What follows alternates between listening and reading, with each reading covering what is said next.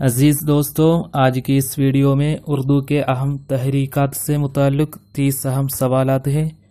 तो चलिए शुरू करते हैं। पहला सवाल, उर्दू अदब में रोमानी तहरीक किस तहरीक के रद्द अमल के तौर पर अमल में आया? हल्के अरबाब ज़ौक, तरक्की पसंद तहरीक, अलीगढ़ तहरीक, इसलाह ज़बान की तहरीक। इसका सही जवाब है अलीगढ़ तहरीक।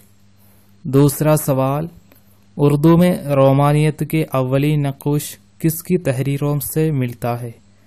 जफ़र अली ख़ान, मोहम्मद हुसैन आज़ाद नयाज फतहपुरी, नासिर अली दहलवी। तो इसका सही जवाब है नासिर अली दहलवी। तीसरा सवाल, रोमानी तहरीक का सरबर आवरदा अदीब कौन है? अब्बास हुसैनी नियाज फतहपुरी राजेंद्र सिंह बेदी सआदत हसन मंडो तो इसका सही जवाब है नियाज फतहपुरी चौथा सवाल रोमान और इंगलाब का इम्तजाज किस शायर के कलाम में पाया जाता है अल्लामा इकबाल जोश मलिहाबादी एहसान दानिश एहसान बेग तो इसका सही जवाब है जोश मलिहाबादी। पांचवा सवाल, रिसाला महजन से रोमानी तहरीक को काफ़ी फ़रो हासिल हुआ था। यह रिसाला किसने जारी किया? हसरत मोहानी, अब्दुल हलीम शरर, सर अब्दुल कादिर, मोहम्मद हुसैन आज़ाद। तो इसका सही जवाब है सर अब्दुल कादिर। छठा सवाल, शायर रोमान किसको कहा जाता है? सरदार जाफरी, अख्तर शीरानी, मखदूम मुहिद्दीन फ़ैज़ अहमद फ़ैज़। तो इसका सही जवाब है अख्तर शीरानी। सातवां सवाल, रोमानी तहरीक से वाबस्ता हुई मशहूर उर्दू अदीब है। शिबली नोमानी, मोहम्मद हुसैन आज़ाद, सर सईद, मीर अमन। तो इसका सही जवाब है मोहम्मद हुसैन आज़ाद। आठवां सवाल, ये किसका कौल है कि शायर पैदा होता है, बनता नहीं? ये मशहूर बात है, लेकिन अगर शायर इसी नज़रिए पर भरोसा करके शेर कहे तो वह बिगड़ भी जाता है। अब्दुलरहमान बिजनूरी, महदी आफादी, सज्जाद अंसारी, नियाज फतहपुरी। इसका सही जवाब है, नियाज फतहपुरी। नवा सवाल, अलीगढ़ तहरीक किस सदी की तहरीक है? अठारहवीं, उन्नीसवीं, बीसवीं, सत्रहवीं। इसका सही जवाब है उन्नीसवीं। दसवां सवाल, अलीगढ़ तहरीक की बुनियादी मकसद क्या था? इसका सही जवाब है मुसलमानों की इसलाह व तरवीज। ग्यारहवा सवाल साइंटिफिक सोसाइटी कहाँ कायम किया था? दिल्ली, अलीगढ़, गाजीपुर, आजमगढ़। तो इसका सही जवाब है गाजीपुर। बारहवा सवाल, रिसाला तहजीब लहलाक किस सना में जारी हुआ? इसका सही जवाब है 1870 ईस्वी में। तेरहवा सवाल आम जबान तहरीर में इस्तेमाल करने का शुरू किस तहरीक से हुआ?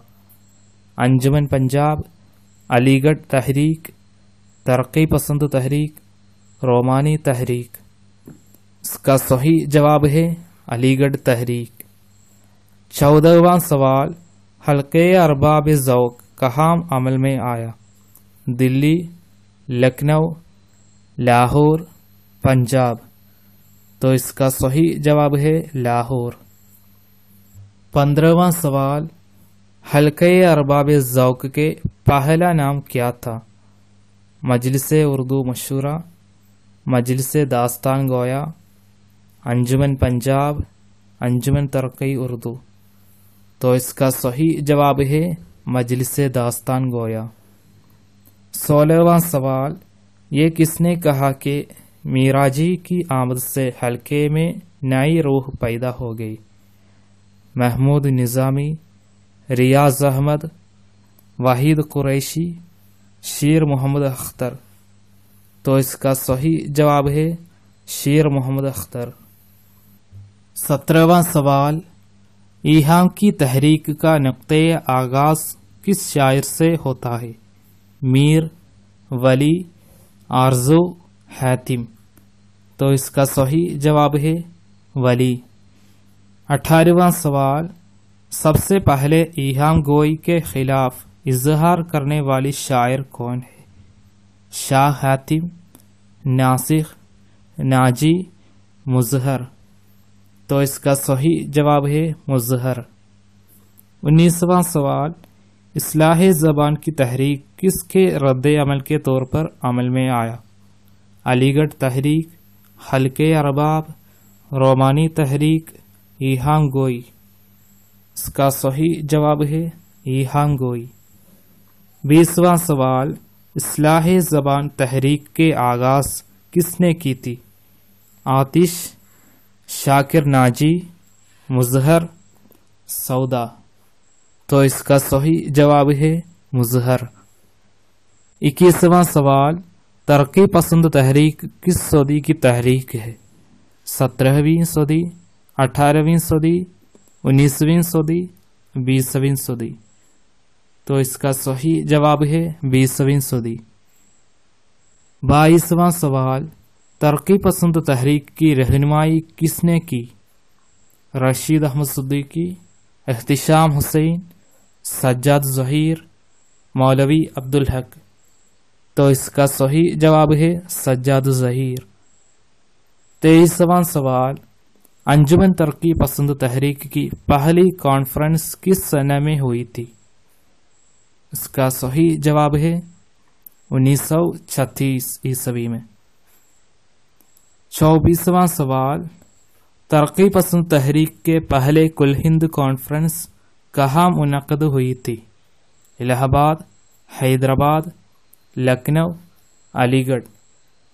तो इसका सही जवाब है लखनऊ। पच्चीसवां सवाल, तरक्की पसंद तहरीक के पहले पाँच साल अदबी अहमियत से ज़्यादा तबलीगी अहमियत रखते थे।